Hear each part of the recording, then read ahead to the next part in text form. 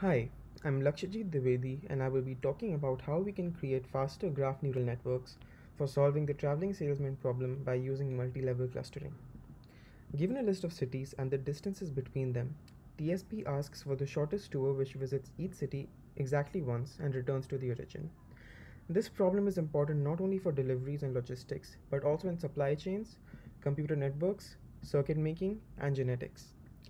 TSP is widely studied not only because of its relevance, but also because it is NP hard, which means it is difficult to solve optimally at large scales. There are mainly two types of algorithms for the TSP. There are exact algorithms, which give optimal solutions but are too slow for large graph sizes. Then there are heuristics, which are much faster but give approximate solutions and require extensive research to formulate. Lately, graph neural networks have been used to automatically learn these heuristics by looking at the patterns in graphs. These GNNs are faster than non-learned methods and they solve TSP instances with up to 100 nodes in just 6 seconds with a very low optimality gap. The issue is that the state-of-the-art models have an O of n squared time complexity, which leads to large training times and does not provide real-time inference.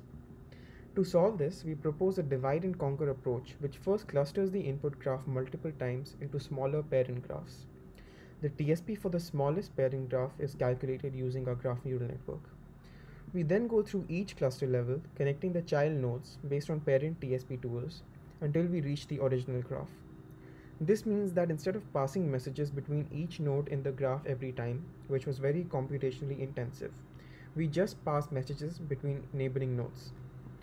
Although our model is not as accurate as state-of-the-art solutions, we are able to obtain a linear O of n runtime, which is much better than the current polynomial runtimes. We also see that decreasing the number of clustering levels generally increases the model accuracy. Overall, our model is able to reduce training times for large graphs and provide more real-time inference speeds.